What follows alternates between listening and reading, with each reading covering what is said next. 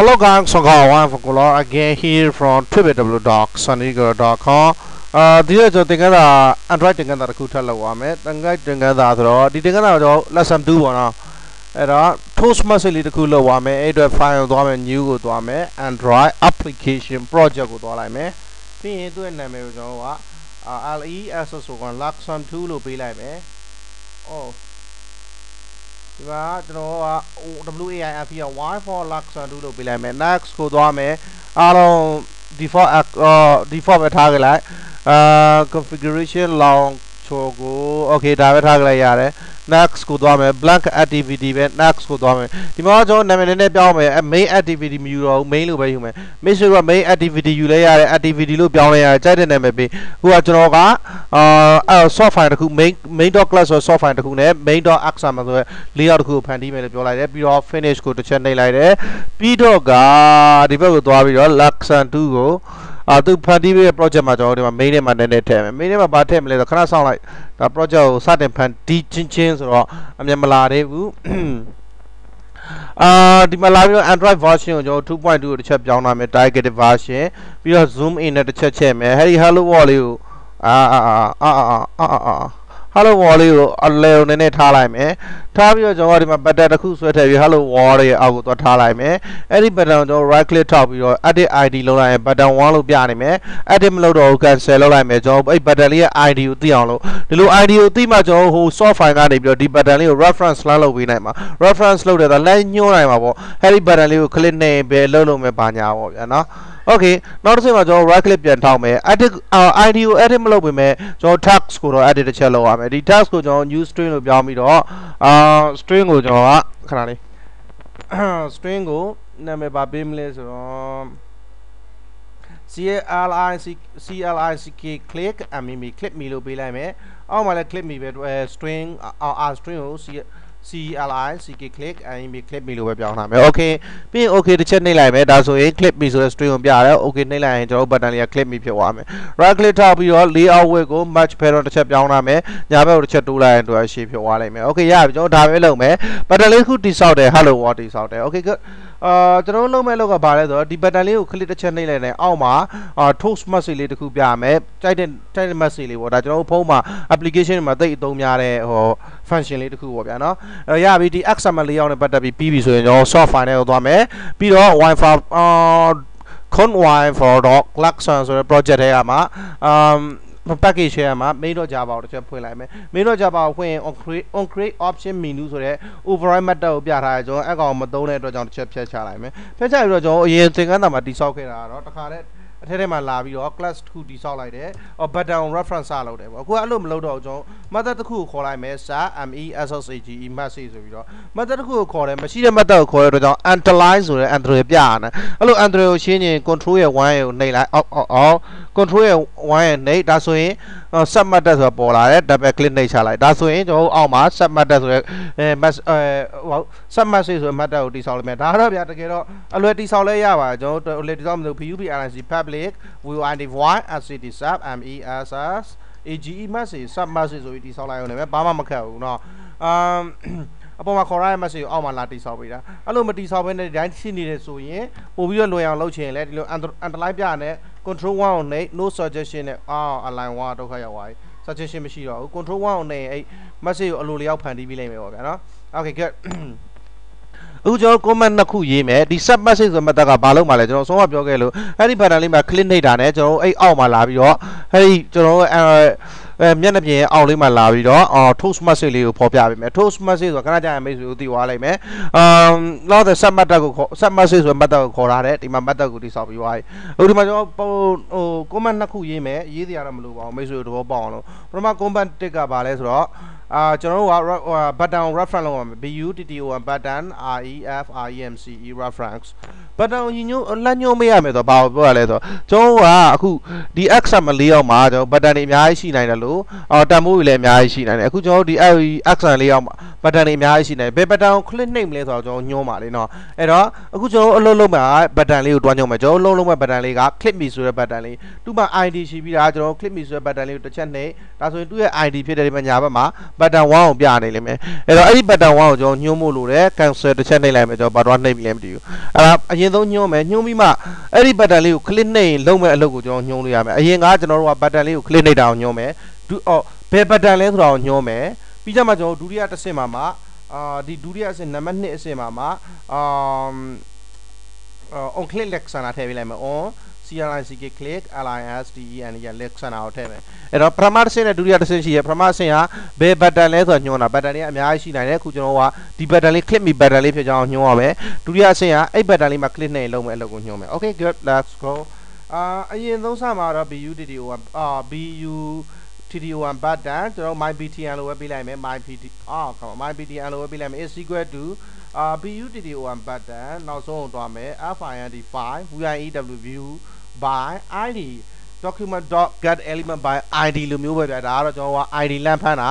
id ကဘယ်ကနေလမ်းဖမ်းရမှာလဲကျွန်တော်အရင်တနေ့ကပြောခဲ့ပြီးပြီ generate file ထဲမှာ auto generation လုပ်ထားတဲ့ auto generate လုပ်ထားတဲ့ r.java file ဆိုတာရှိတယ်သူထဲမှာကျွန်တော် id တွေ layout တွေအားလုံးရှိတယ်အဲ့ဒါကနေကျွန်တော်သွားညွှန်မယ်အဲ့တော့ r.java file ဖြစ်တဲ့အတွက် r.id r.java file တွေက id ကိုယူမယ်ဘယ် id ကိုလဲဆိုရင်ကျွန်တော်က BUTTON button 1ဆိုတဲ့ ID ကိုယူမယ်။ Okay နောက်မှလာပြီး semicolon ပိတ်လိုက် button 1ကပြက်လာတက်နေတစ်ချက်နှိပ်ပြီးတော့အာ import လုပ်လိုက်မယ်ဒီမှာ button 1ကို import လုပ်ပြီးသွားပြီဒီဘက်ကိုပြန်လာရင် button 1ပြက်လာမတက်တော့ဘူး okay နေလိမ့်မယ်ဒီမှာ BUTTON button တွေကပြက်လာတက်နေတယ် control shift O နှိပ်လိုက်ရင် button ကို import လုပ်ပေးလိမ့်မယ်ဒီမှာ Android widget button ဆိုပြီးတော့ import လုပ်ပေးမယ် my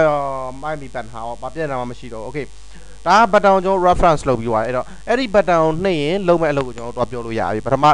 အဆင့်ကိုပြီးသွားပြီဒုတိယအဆင့်သွားမယ်ဒုတိယအဆင့်မှာအဲ့ button ကိုနှိပ်လုံးမဲ့အလုပ်ဖြစ်တဲ့အတွက်ကြောင့် button ရဲ့နာမည်ဖြစ်တဲ့ my btn ကိုခေါ်မယ် my btn မှာကျွန်တော်က set on click listener ဆိုပြီးတော့ listener တစ်ခုထည့်မယ်အဲ့ဒီ button ကို click နှိပ်လားမနှိပ်လားကိုလှမ်းပြီးနားထောင်မဲ့ကောင်တစ်ခုထည့်မယ်ထည့်ပြီးတော့ကျွန်တော်တို့ new ဒီခေါက်တော့ကျွန်တော်က view view view. um on click listener ဆိုပြီးကျွန်တော်ထည့်လိုက်မယ်ဟုတ်ပြီနော် အဲ့မှာ view on click listener ရလာပြောချင်တာအဲ့ဒီ button လေးကို click တစ်ချက်နှိပ်တာနဲ့နှိပ်မနှိပ်စစ်ဆေးမယ်နှိပ်တာနဲ့ဒီကောင်ကကျွန်တော်ဟို new class တစ်ခု class တစ်ခုကိုထပ်ခေါ်မယ်အဲ့ဒါက on click listener ဆိုတဲ့ class သူ့ကိုပြီးတော့ override လုပ်လိုက်မယ် on click button နဲ့ဆိုပြီးတခါတည်းဒီမှာသူ့လိုလိုရေးပေးသွားတယ်လေနော်ကျွန်တော်တို့နော်အော်ကျွန်တော် on click listener လို့ရေးတာနဲ့အောက်ကစာကြောင်းကသူ့လိုလိုရေးပြီးတာပဲအမရေးရတဲ့ message ကို enter ခေါ်လိုက်သူ့လိုလိုရေးပြီးတာဖြစ်တယ်မနော် um ဘယ်လိုပြရမလဲဆိုတော့ okay good အဲ့ကျွန်တော်အားလုံးပြန်ဖြတ်လိုက်မယ်ဒါတွေအားလုံး okay there we go အာ on set on click link ဆိုတာဆိုပြီးတော့ကျွန်တော် new viaw view dot um on click link ဆိုတာဆိုတဲ့ကောင်တစ်ခါနှိပ်ချလိုက်ဒါဆိုရင်အလိုလိုရင်းကြာလာမယ်နော် control set ကိုပြန်နှိပ်ထားအာ on view dot on sorry on click on click clear on clear listen yeah link ဆိုတာဆိုတစ်ချက်နှိပ်ချလိုက်အမ်ပြီးရင်ကျွန်တော်ကဒီမှာဒါကပုံမှန်တိဆောက်တဲ့နည်းပေါ့ဗျာနော် semi colon ပိတ်လိုက်မယ်ပြီးရင်ကျွန်တော်ဒီထဲမှာအလုပ်တော့လုပ်မယ် sorry ဒီထဲမှာမဟုတ် control z control z control z control z control z control z control z control z okay good အာဒီနေ့ပြန်ရောက်ပြီလို့ကျွန်တော်ထားလိုက်အဆုံးမဖြတ်တဲ့အတိုင်းပဲကျွန်တော်အားလုံးကိုပြန်ဖြတ်လိုက်မယ် အားလုံးပြန်ဖြတ်ပြီးတော့ enter တစ်ချက်ခေါက်လိုက်မယ်ပြီးရင် new view view dot on click listener ဆိုကျွန်တော်တို့မှာနော် view view dot ဆိုပြီးနှိပ်လိုက်တာညာဘက်မှာကျွန်တော်တို့ comment ပေးပြီး on click listener ကိုယူမလားဆိုပြီးတော့သူ anonymous inner type တစ်ခုနဲ့ကျွန်တော်တို့ပြခိုင်းမယ်ကျွန်တော်အဲ့ဒါကိုတစ်ချက်နှိပ်ချလိုက်တဲ့အလိုလျောက်ကိုကျွန်တော်တို့လာပြီးတော့အာသူ့ရဲ့ on click listener ကိုတည်ထွင်ပေးတယ် inner class တစ်ခုကိုတည်ထွင်ပေးတယ်ပြီးတော့ကျတော့အဲ့ inner class ကို override လုပ်မယ် on click method ကိုတိဆောက်ပေးတယ် okay ဒါဆိုကျွန်တော်အလုပ်စလုပ်လို့ရပြီကျွန်တော်လုပ်မဲ့အလုပ်ကဘာလဲ အဲ့ဒီ button လေးကို click နှိပ်တာကိုကျွန်တော်နားထောင်ပြီးွားပြီဟာမှာဘတ်တန်လေးကိုညှိညွှန်းတယ်အပေါ်ကတစ်ဆင့်မှာအဲ့ဘတ်တန်လေးညှိညွှန်းပြီးတော့အဲ့ဘတ်တန်လေးကိုခလစ်နှိပ်လာမနှိပ်လာနားထောင်တယ်ခလစ်နှိပ်လာခဲ့ပြီဆိုကျွန်တော်အောက်ကအဆင့်ကိုသွားရမယ်အောက်ကအဆင့်မှာဘာလုပ်မလဲဆိုတော့ကလစ်နှိပ်လာခဲ့ရင်ဘာအလုပ်လုပ်မှာလဲကျွန်တော်စရေးပေးရမယ်အော်ဒီမှာပြက်နာတစ်ခုတက်နေတယ်ကျွန်တော် win page တစ်ခုကြံခဲ့ပြီတူတယ် semicolon okay good ပြက်နာရှင်းသွားပြီ delete နှိပ်မယ်နှိပ်ပြီးတော့အဲဘာလုပ်မှာလဲဆိုတော့ကျွန်တော်အဲ့ button လေးကို click နှိပ်တဲ့အခါကျရင် T O A S T toast message တစ်ခုပြမယ် M A K E make tags Thomas ရဲ့ make tag ဆိုတဲ့ method ကိုခေါ်လိုက်မယ်အဲ့ make tag ဆိုတဲ့ method ကိုခေါ်တာအာ Thomas ကိုသုံးတဲ့အခါမှာကျွန်တော်တို့ကဒီ make tag ဆိုတဲ့ method ကိုခေါ်လိုက်တယ်အဲ့ method မှာပါ parameter 3ခုပါတယ်အဲ့ parameter 3ခုမှာကျွန်တော်ပထမ parameter context ဘယ်နေရာမှာကျွန်တော်တို့က message ပြမှာလဲကျွန်တော်တို့ကဒီ class ပေါ်မှာပြနေတာအခုအလုပ်လုပ်နေ class ဒါပေမဲ့အခုလုပ်လုပ်နေ class ကဒီ on click listener ဆိုတဲ့ inner class ဖြစ်နေတယ်ကျွန်တော်ပြနေတာအဲ့ဒီ main class မှာပြနေတာအဲ့တော့ကြောင့်ကျွန်တော်တို့ကဒီ context မှာပုံမှန်အားဖြင့် on click listener မှာမဟုတ်ရင်တော့ကျွန်တော်တေးဆိုင် this လို့ရေးရင်ရပြီဒါပေမဲ့ this ရဲ့အပြင်ကိုထွက်ဖို့လိုတယ်ဘာကြောင့်လဲ MAI main လို့ထွက်ရမယ်ဘာကြောင့်လဲဆိုတော့ this လို့ရေးရင်ဘာလို့ပဲညွှန်းတာဖြစ်နေလဲကျွန်တော် this လို့ချင်းဒီ on click listener inner class ကိုညွှန်းတာဖြစ်နေတယ်အဲဒါကြောင့်မလို့ကျွန်တော်က main ထည့်လိုက်တော့အဲ့ဒီ main ရဲ့ this လို့ပြောတာ main ရဲ့မျက်နှာပြင်မှာကျွန်တော်ဖော်ပြပါပေါ့နော်ပြီးရင်သူက task ကျွန်တော်ဖော်ပြခြင်းတဲ့ task ကိုဒီမှာလာဖော်ပြရမယ်အာ double quote ထဲမှာမှကျွန်တော်က you ck click me you click me ဆိုပြီးတော့ငိုတဲ့ပုံလေးထည့်လိုက်မယ်ပြီးရင် duration ကြာခြင်းကိုကျွန်တော်တတ်မှတ်ရမယ် ကြာခြင်းတော့ကျွန်တော်ဘယ်အဲ့ဒီ message လေးကိုဘယ်နှဘယ်နှ minute ပြမှာလဲဘယ်နှ second ပြမှာလဲလို့မိတ်ဆွေတို့ထင်လိမ့်မယ်ဟုတ်တယ်သူကကြာခြင်းကိုပဲပြမှာဘယ်လောက်ကြာကြာပြမှာလဲကိုပြောတာဒါပေမဲ့ကြာခြင်းကနှစ်မျိုးပဲရှိတယ် TOAS toast dot long in နဲ့ short in ဆိုပြီးနှစ်မျိုးရှိတယ်ကျွန်တော် long in ကိုယူလိုက်မယ် long in ပြီးရင်နောက်တစ်ဆင့်ကိုသွားပြီးတော့အာဒါဆိုရင်ကျွန်တော် okay long in ကိုယူလိုက်မယ် ပြီးရင်ကျွန်တော်နောက်မှာနောက်တစ်ဆင့်မှာဒါကတော့ကျွန်တော်ရပြီ Thomas စိတ်လည်းတိဆောက်ပြီးသွားပြီအာ Thomas စိတ်ကိုဖော်ပြမဲ့နေရာလည်းတိဆောက်ပြီးသွားပြီအာ message မှာဖော်ပြမဲ့စာသားလည်းတိဆောက်ပြီးသွားပြီဘယ်လောက်ကြာကြာဖော်ပြမလဲတိဆောက်ပြီးသွားပြီဒါပေမဲ့တကယ်ဖော်ပြဖို့ကြောင့်ကျွန်တော်နောက်ကနေပြီးတော့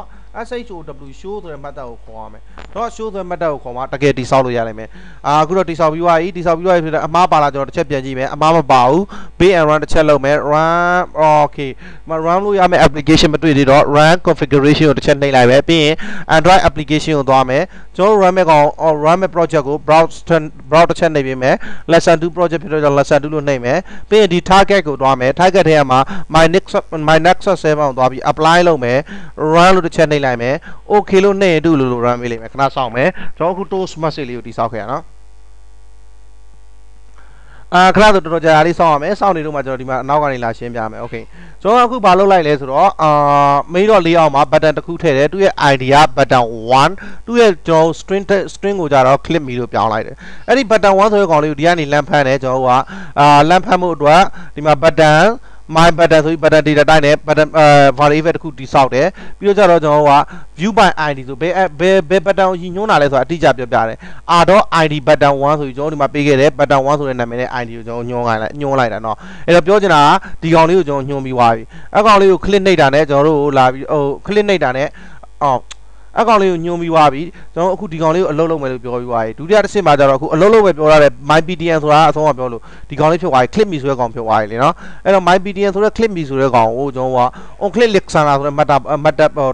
မတ်တက်နဲ့ကျွန်တော် အော် on click list တော့မတ်တက်အသုံးပြုလိုက်တယ်ဗျ on click list ဆိုတာသူ့မှာကျွန်တော်က click နေလားမိတ်လားနားထောင်ပေးမယ်မတ်တက်သူတို့မှာကျွန်တော်တို့ဗာပြီးတော့ on click inner class တစ်ခုတည်ဆောက်လိုက်တယ်ဒီမတ်တက်ထဲမှာပဲ inner class ကဘာလုပ်မှာလဲဆိုတော့ click နှိပ်ခဲ့တယ်ဆိုရင်လုံးမဲ့အလုပ်ကိုကျွန်တော်ရည်ညွှန်းပါအဲ့ဒီ inner class ကကျွန်တော်တို့က override လုပ်ရတယ် override လုပ်ရတယ်ဆိုတော့ဒီ on click lexana ဆိုတဲ့ class ကိုကျွန်တော် inner class ကိုခေါ်တုံးမယ်ဆိုရင် um သူ့ကိုကျွန်တော် override လုပ်ပေးရတယ် override လုပ်ဖို့တော့သုံးရတဲ့ method က on click ဆိုတဲ့ method တစ်ခုပဲအဲ့တော့ on click နဲ့ကျွန်တော် override လုပ်တယ်လုပ်ပြီးတော့ကျွန်တော်တို့ဒီမှာဘာလို့အာတကယ် တကယ်ဟိုတကယ်ပြိတ်တက်ကဘတ်တန်လေးပေါ်မှာ click နှိပ်ခဲ့ရင်ထုတ် message တစ်ခုကျွန်တော်ဖန်တီးမယ်အဲ့ထုတ် message လေးမှာပါရာမီတာ၃ခုပါတယ်ပထမပါရာမီတာဘယ်နေရာမှာဖော်ပြမှာလဲဒုတိယပါရာမီတာဘာစာသားဖော်ပြမှာလဲတတိယပါရာမီတာဘယ်လောက်ကြာကြာဖော်ပြမှာလဲဒါပေမဲ့ဒီတိုင်း toast message လေးကိုကျွန်တော်အားလုံးဖြည့်ပြီးတော့လည်းပဲကျွန်တော်အလုပ်ကမပြီးသေးဘူးဒီကောင်ကဖန်တီးထားသေးပဲရှိတယ်မဖော်ပြရသေးဘူးဖော်ပြဖို့ဆို show ကိုသုံးလိုက်ရင်ဖော်ပြတယ် okay အခုကျွန်တော် run ကြည့်မယ်ဒီမှာလာပြီးတော့ညာဘက်ကိုဆွဲလိုက်မယ် click me ဆိုတာကောင်းလေးတွေ့တယ် click တစ်ချက်နှိပ်လိုက်ရင်အောက်မှာ you click me ဆိုတဲ့ toast message လေးကိုဖော်ပြတယ်ဒါလေးကိုကျွန်တော် toast message လို့ခေါ်တယ်လေနော်နောက်တစ်ခါ click နှိပ်လိုက် toast message လေးကိုဖော်ပြရတယ်တွေ့ရမလားကျွန်တော်ဖုန်းလေးမှာအရေးကြီးတယ်ပြိတက်ကကျွန်တော်ဟို application မှာတစ်ခုခုနှိပ်ခဲ့ရင်နှိပ်ခဲ့ကြအောင်ကျွန်တော်လာပြီးတော့ confirm လုပ်ပေးဖို့အတွက် hello toast message လေးတွေကတိတ်သုံးဝင်တယ်ကျေးဇူးအများကြီးတင်ပါတယ်နားမလဲရရှိရင်မိဘကျွန်တော်နာမည်ကတော့ wifi ကိုလာပါ www.sunnygo.com ပါစကားဆက်ကျွန်တော် website မနေ့ပြန်စပြီးတော့အသေးဝင်လို့ရပြီ